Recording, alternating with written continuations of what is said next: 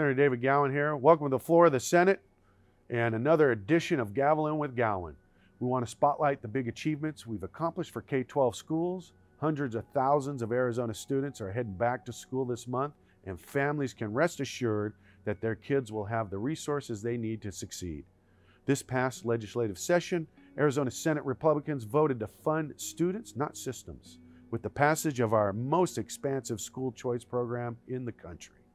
Families will be able to take advantage of empowerment scholarship accounts that will provide around $7,000 per K 12 child, allowing them to attend any school of their choice. From ESAs to providing ample grant funding each year for school capital needs, Senate Republicans have supported $3 billion in ongoing annual state funding increases to K 12 education from FY 2014 to FY 2022. The FY 2023 budget adds significant new ongoing funding for K-12 schools totaling 649 million and increasing to 908 million by FY 2025. This money can be used to pay for quality teachers and principals, building repairs, classroom technology, resource officers, and much, much more. This past session, Arizona Senate Republicans also voted in support of and passed two bills that were signed into law which rein in the mask and vaccine mandates that proliferated across our schools throughout the pandemic. Together, HB 2616, which is the mask mandates minors parental consent, and HB 2371, which is enforcement prohibition vaccinations requirements, prohibit the state, school districts, or any government entity from requiring anyone under the age of 18 to wear a mask or receive a COVID 19 vaccination without parental or guardian consent. Parents should always have the final say, especially when it comes to the health and welfare of their children. Over the past decade, Arizona has routinely been in the national spotlight as one of the fastest growing states in the country. This is thanks in part to our strong economy, healthy job market, limited government regulations, business friendly environment, low taxes, quality of life, the weather, as well as our amazing recreational opportunities.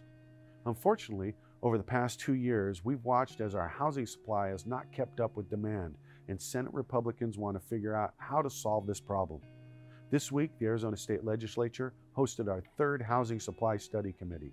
During these meetings, we hear from industry experts, community leaders, developers, nonprofits, and residents from around the state on issues like homelessness, planning and zoning challenges, multi and single family housing needs, rapid increases in home prices, and construction demands. Our next meeting will be on Tuesday, August 23rd at 1 p.m. in House of Representatives Hearing Room Number 1. Last but not least, every year, state lawmakers from across the country attend the American Legislative Exchange Council annual meeting. At the end of July, I join Arizona Senate Republicans in Atlanta to hear policies and ideas that our state can benefit from, as well as share what's working in Arizona that other states can adopt and implement. A topic of discussion was the rise of federalism in the face of the federal government's overreach that we've witnessed from the Biden administration. Since taking office, Biden has issued a large number of executive orders, many of which have had negative consequences for almost every economic sector. Too many decisions have been taken out of the hands of our citizens and left up to Washington, D.C. The solution to this abuse of power lies in reclaiming self governance in our states and in our communities. By doing so, we can better meet the needs of the people we serve. A one size fits all government approach isn't what our founding fathers had in mind.